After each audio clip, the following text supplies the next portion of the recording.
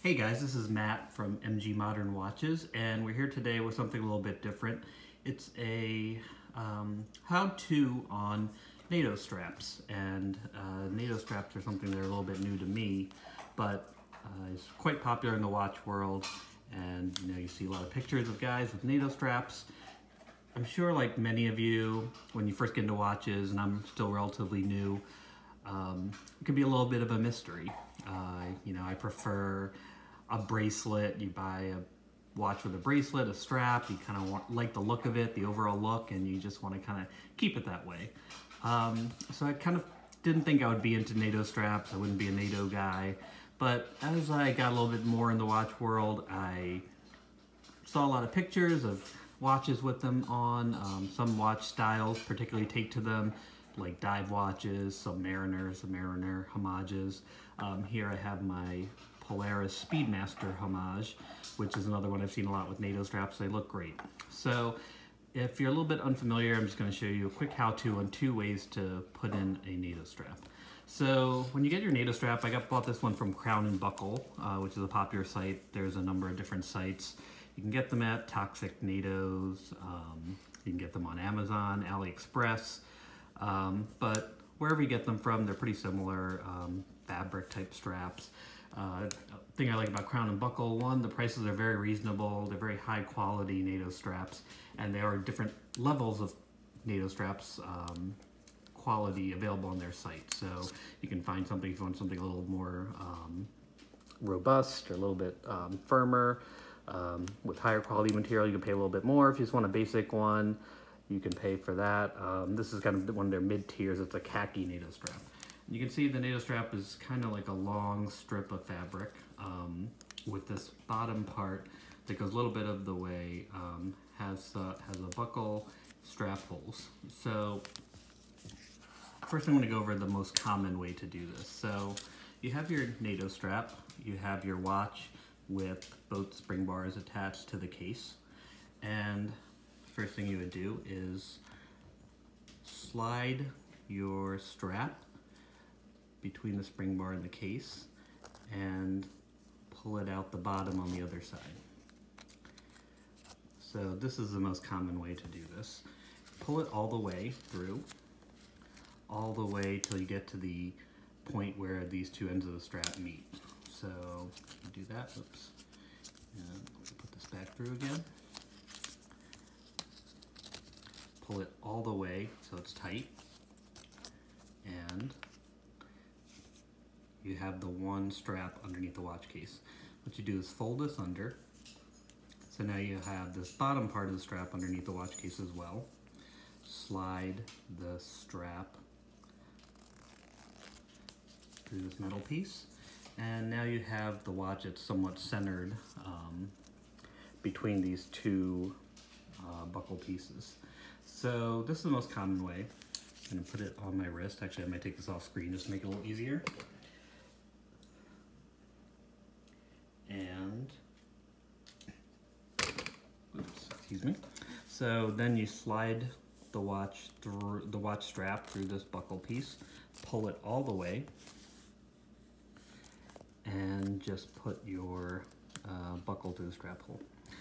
So now you have the watch strap you can push through both ends of this metal, uh, the metal buckle, and this is what you're left with. Now you have this extra flap here and what you do is just tuck it down through that top piece. And there you go. So this is the most common way to wear a NATO strap.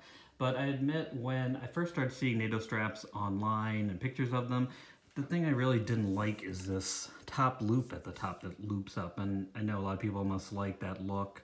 To me, it just feels bulky. It looks like extraneous. Um, just not a fan of that look even though I kind of like the look of a watch on a NATO strap, I just really dislike this top loop. So what I did was kind of Google different ways to put them on and see if there's another way to put them on. And I found what was called uh, an over-under method, which I really prefer and really was a game changer for me in my interest and love of these straps. So I'm going to show you the way to do that in case you're interested. So again, start with the strap, have our watch case, and we're gonna start off the same way. So slide the watch strap through the spring bar in the case, come back out the other side. Now the difference here is you're not gonna pull it all the way back here. We're gonna only pull it part of the way. So we still have this hanging piece up top. So this is the way I like to do it. I like to pull it um, so that the last strap hole is a little bit below the case.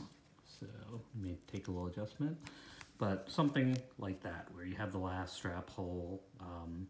And I have a six and three quarters inch wrist, so this works well for me. So now this is what it looks like. There's only one piece of strap under the case, a little less bulk between your wrist and the watch case.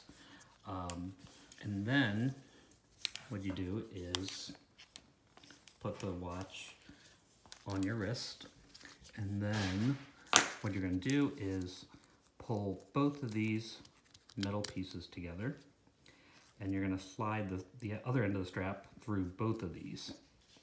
So I'm going to do that here through the first one and the second one.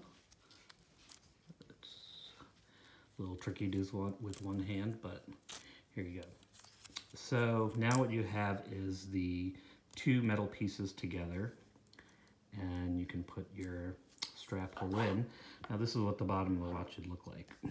So now it's a little bit more like a traditional strap. And the thing I like about this is you don't have that extra loop on top. It's just um, the watch strap. Now the only thing you may notice is now we have this little piece of a strap hanging, which isn't desirable. So what you do is just tuck this very small end back into this first metal piece. And there you go. So now the bulk is under the watch, but it's not too bulky. You only have the one strap underneath, not both like the traditional method. And from a top view, you have that NATO look, but you don't have that big loop on top. So this is a way I prefer to do it.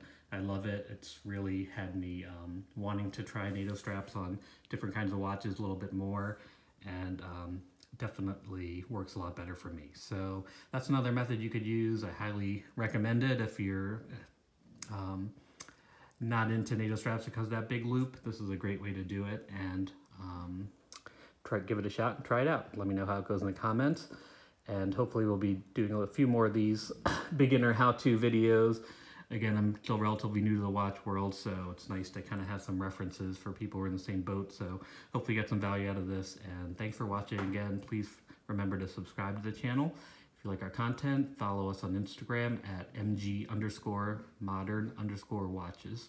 And thanks so much for watching again, and we'll see you next time. Bye.